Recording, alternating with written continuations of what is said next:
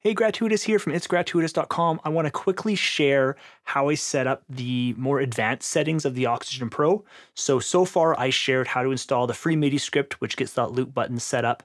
You want to also make sure you are in preset mode, and then you want to make sure you're sending in a template with the source as external and the source is actually your tempo sync.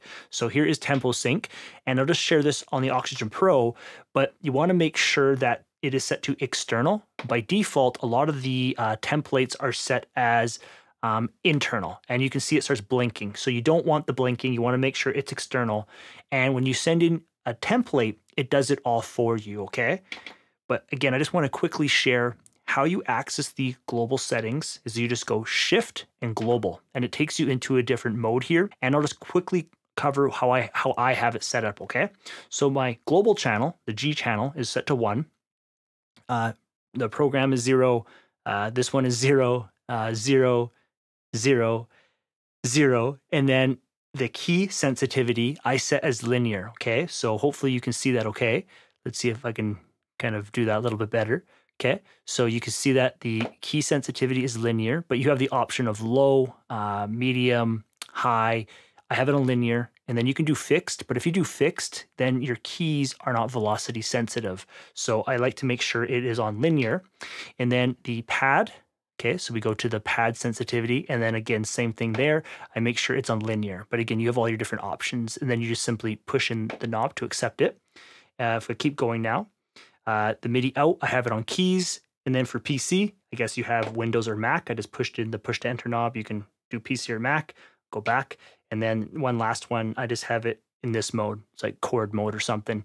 I don't I don't use any of like this chord stuff with the Oxygen Pro. I just use my keys, transport buttons, and then for some hands-on mixing, I do some slides and knobs.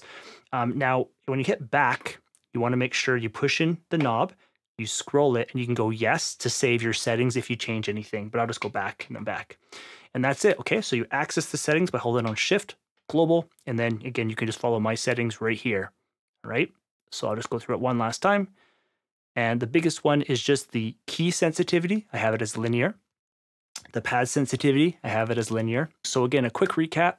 When you turn on the Oxygen Pro, you want to make sure you're in preset mode. You want to make sure that you're sending in a preset to the Oxygen Pro for your external tempo sync. But again, I have my M Audio Oxygen Pro FL Studio template available for you. That just it does all that stuff for you.